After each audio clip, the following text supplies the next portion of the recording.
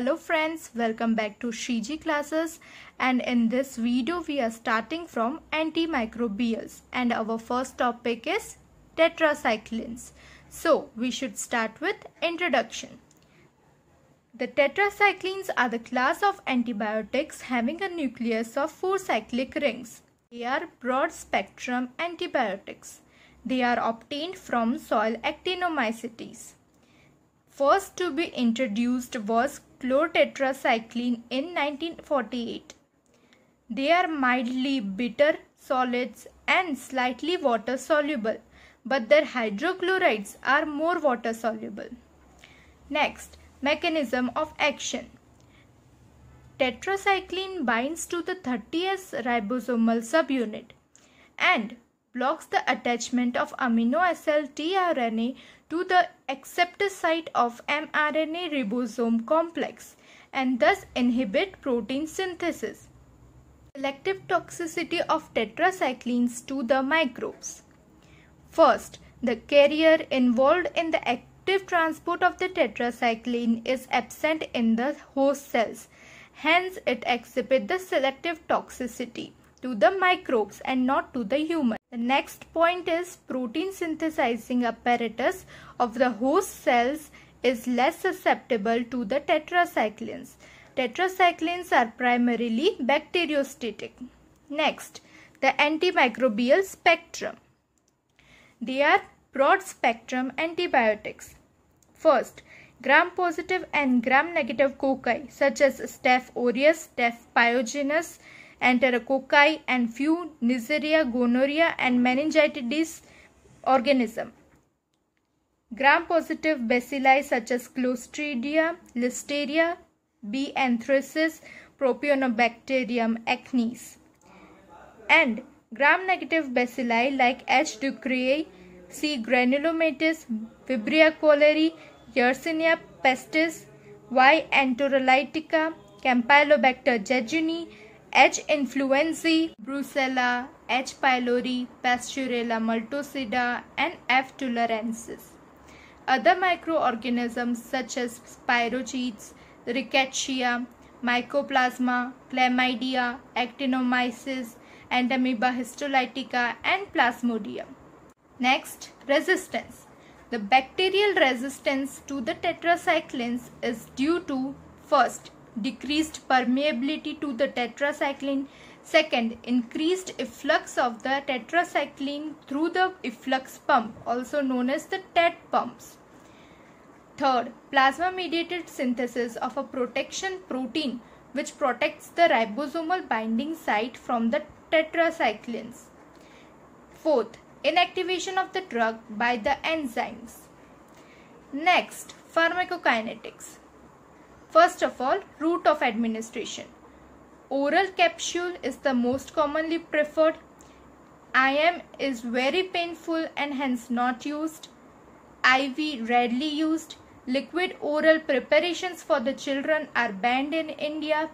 Topical preparations have high risk of sensitization and hence not used. But in ocular application as an eye drop it can be used. The next property is of chelation. Chelation property. Tetracycline along with milk or iron preparation, antacids, sucralfate and zinc salts form insoluble and unabsorbable complex that is chelation with calcium, magnesium, iron and other metal ions and hence decreases the absorption of tetracycline. Third point, volume of distribution. It is more than 1 liter per kg.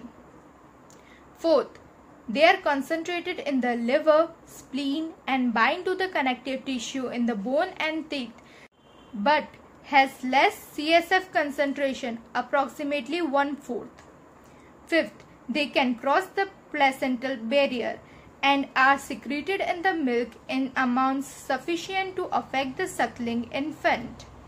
Now we will see some difference between the drugs of tetracycline group. There is of oxytetracycline and tetracycline.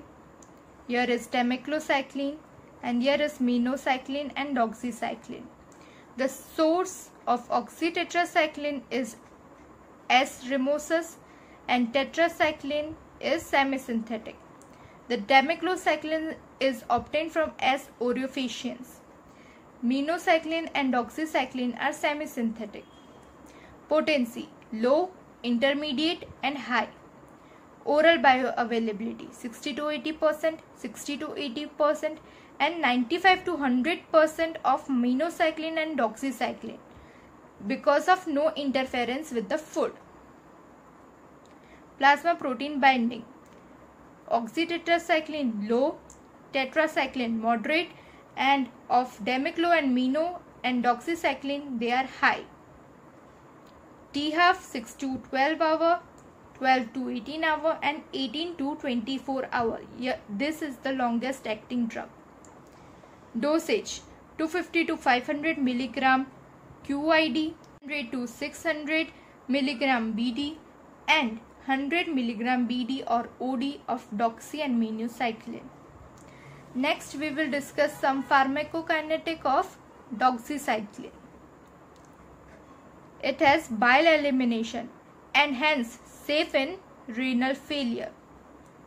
Undergoes enterohepatic circulation.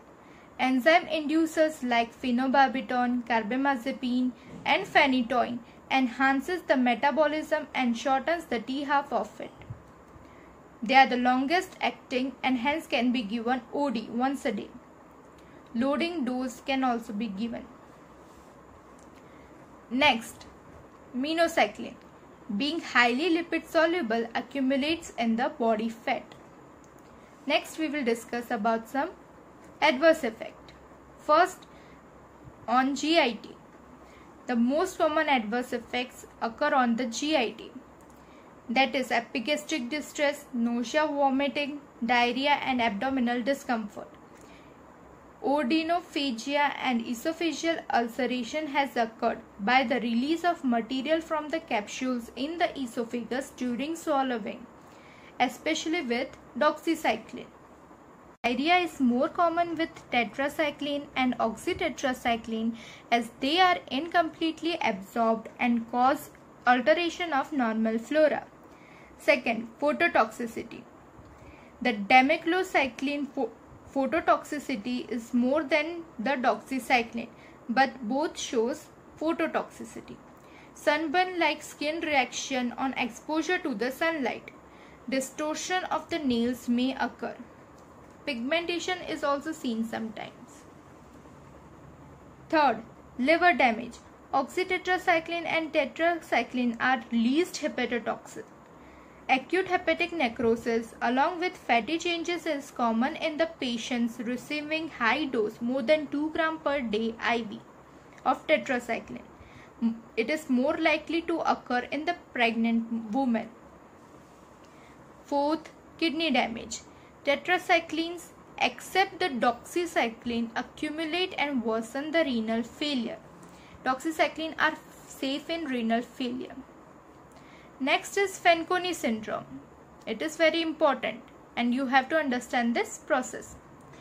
Exposure to acidic pH, moisture and heat favors the degradation of the tetracyclines. The degraded products of tetracycline are epitetracycline and hydrotetracycline and epianhydrotetracycline. Consumption of such outdated tetracycline damages the proximal renal tubules and causes Fanconi syndrome and that is reversible.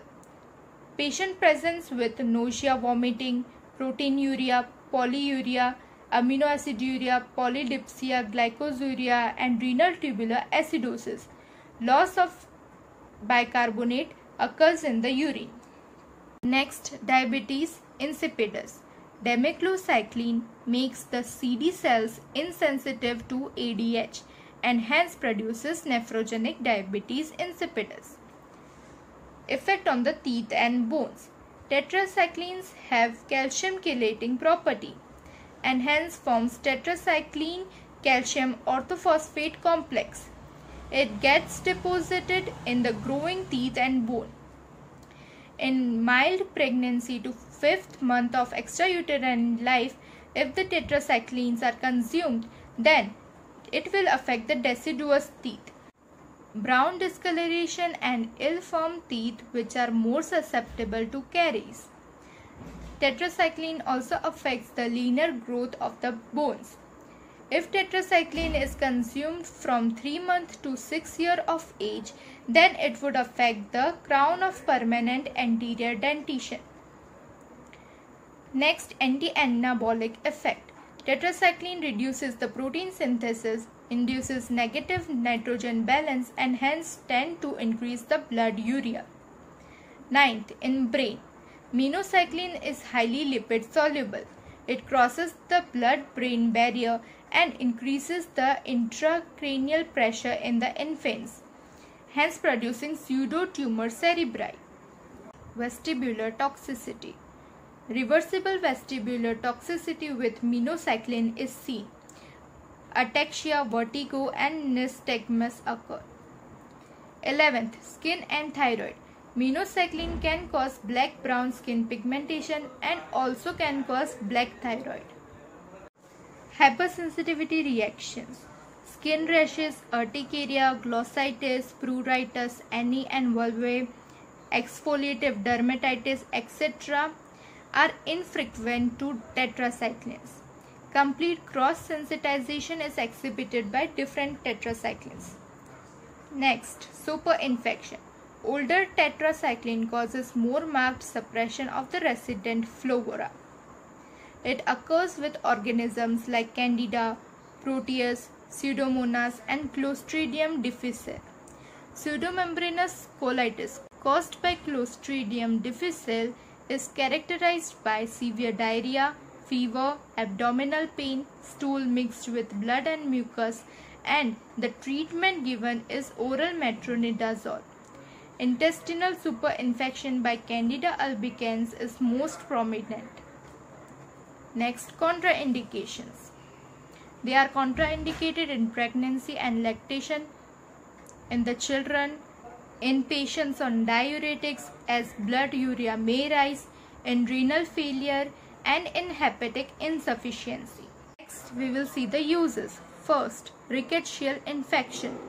In typhus fever, Rocky Mountain, spotted fever, scrub fever and Q fever, the Doxycycline respond dramatically.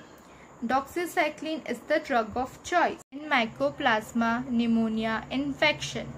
Doxycycline is the drug of choice in atypical pneumonia caused by Mycoplasma pneumoniae. Third, spirochetes.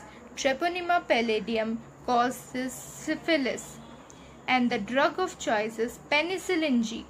But if the patient present with the history of allergy of the penicillin, then doxycycline is given. The next is leptospirosis or Borrelia burgdorferi.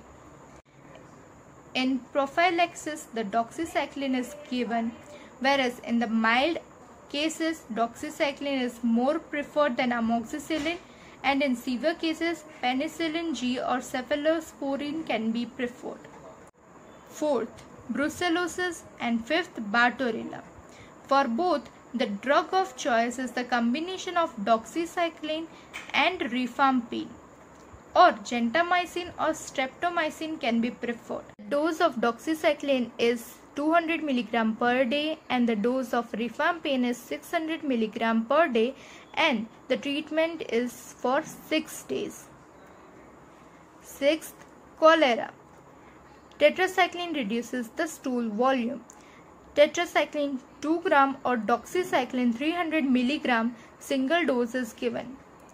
Fluid and electrolyte replacement is the mainstay of the therapy.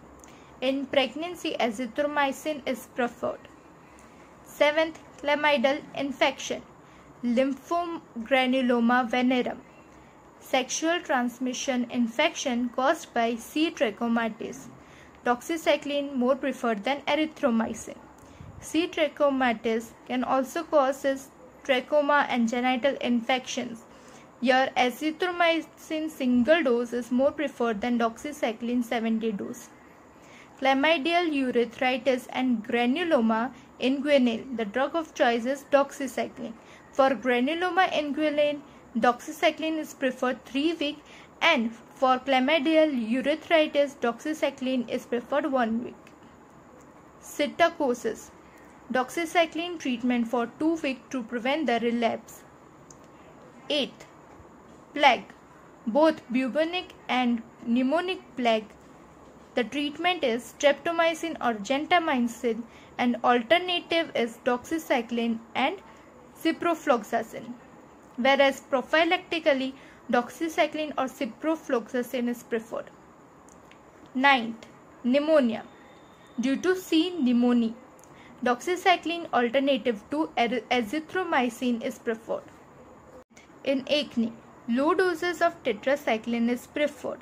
They inhibit the Propionibacterium acne and hence inhibit the conversion of lipids to free fatty acid, which is done by Propionibacteria. Next, amoebiasis. Tetracycline along with other amoebicides for chronic intestinal amoebiasis is given. 12th, malaria. Doxycycline and antimalarial agents for the treatment of chloroquine resistant P. falciparum malaria and doxycycline for the treatment of malarial prophylaxis. 13. SIADH syndrome of inappropriate ADH secretion. Demeclocycline makes the CD cells insensitive to ADH and hence helpful in SIADH. Leprosy. In the ROM regimen, which stands for rifampin, ofloxacin and minocycline, which is a tetracycline, for single lesion paucibacillary leprosy is used. 15th Filariasis. Oral doxycycline in filarial infection is preferred. Next, empirical therapy. Tetracycline are often employed when the nature and sensitivity of the infective organism cannot be reasonably guessed. Tetracycline may be used for initial treatment of mixed infection, but now beta-lactam along with aminoglycosides or fluoroquinolones or third generation cephalosporins are used. They are not dependable for empirical treatment of serious or life-threatening infections. 17th. Community acquired pneumonia. In community acquired pneumonia, the short form is CAP-CAP. When a more selective antibiotic cannot be used, tetracyclines are preferred. 18. UTI or in odd cases in which the organism has been found sensitive, tetracyclines are preferred. Tetracyclines are the second choice drugs to penicillin or ampicillin for tetanus, anthrax, actinomycosis and listeria infection. They are second choice drugs to ceftriaxone or amoxicillin or azithromycin for gonorrhea in patient allergic to penicillin. They are second choice drugs to ceftriaxone for syphilis in patient allergic to penicillin. They are second choice drug to penicillin for leptospirosis, weekly doxycycline has been used as prophylactic in the subjects at risk during an epidemic. They are second choice drugs to azithromycin for pneumonia due to C. pneumoniae. They are second choice drugs to ceftriaxone or azithromycin for chancroid. They are second choice drug to streptomycin for tularemia. Then in swimming pool granuloma that is caused by Mycobacteria marinum, minocycline is preferred.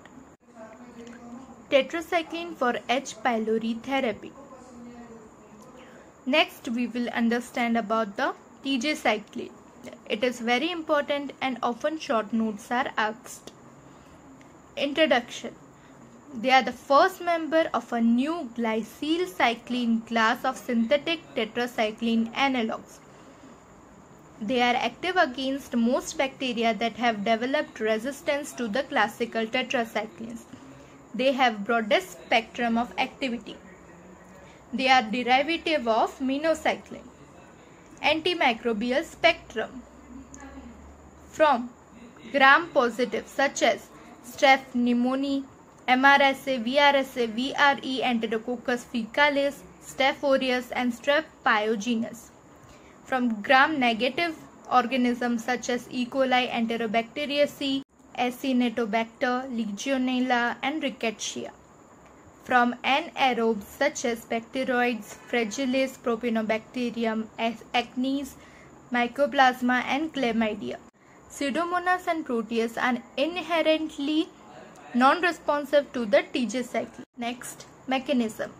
Tetracycline efflux pumps acquired by many resistant bacteria have very low affinity to tigecycline and are unable to pump it out. The ribosomal protection protein against the tetracycline is less active in protecting the ribosomal binding site from tigecycline. Next, pharmacokinetics. They are poorly absorbed from the GIT. Route of administration is slow IV infusion. Volume of distribution is large, more than 7 liter per kg. Plasma concentration is low. Elimination mainly in the bile. T-half is 36 to 60 hour and they are safe in renal failure as doxycycline. Uses for serious and hospitalized patients of community acquired pneumonia, complicated skin infection and complicated intra-abdominal infection. They are not recommended for children and in the pregnancy. They are not recommended for hospital or ventilator associated chest infections. They are not recommended for UTI and not for diabetic foot skin infections. The dose is 100 mg loading dose followed by 50 mg 12 hourly IV infusion over 30 to 60 minutes for 5 to 14 days. Side effects nausea, vomiting, epigastric distress, diarrhea, skin reaction, photosensitivity, and injection site complications and superinfection can occur.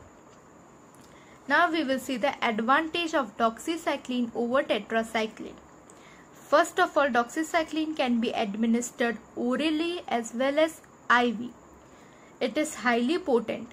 Food does not interfere with its absorption. Hence, oral bioavailability is 100%. It has longer duration of action. T-half is 24 hour. Incidence of diarrhea is rare as it does not affect the intestinal flora. It can be safely given to the patients with renal failure as it is excreted primarily in the bile. That's enough for today and so we have completed our tetracyclines. Now we will move to our next topic chloramphenicol in my next video. Thanks for watching it and if you found it helpful then please like, share and subscribe.